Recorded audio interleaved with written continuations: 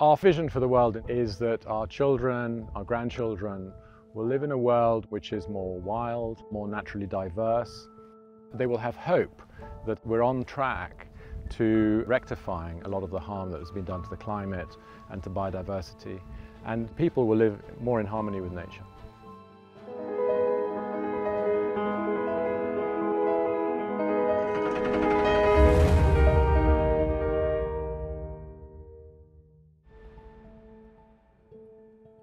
We have to find a new balance. We have to value the things that nature gives us. Nature is really critical. It's peace, it's health, it's an indication of society that is uh, harmonious.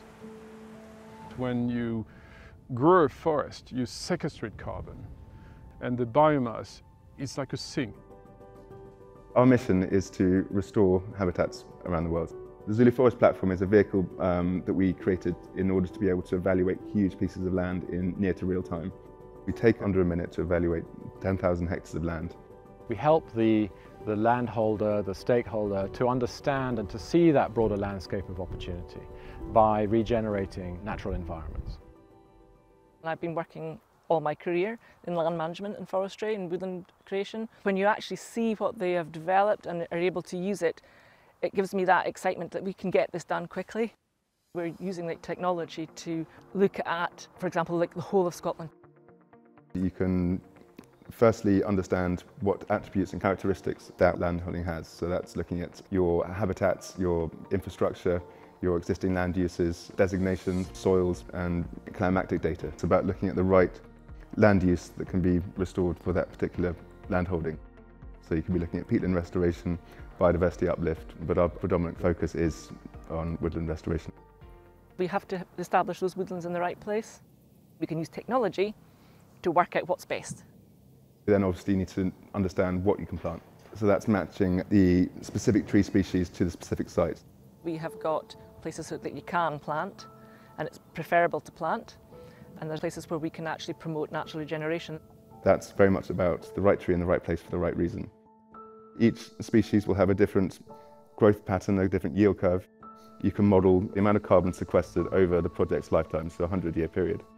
Having established where we can plant, what we can plant, we then need to understand how much is it going to cost and what the revenues look like.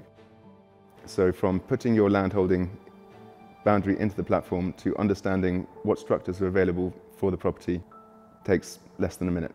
The work that Zulu Forest Sciences are doing is it breaks down the barriers to accessing the carbon market.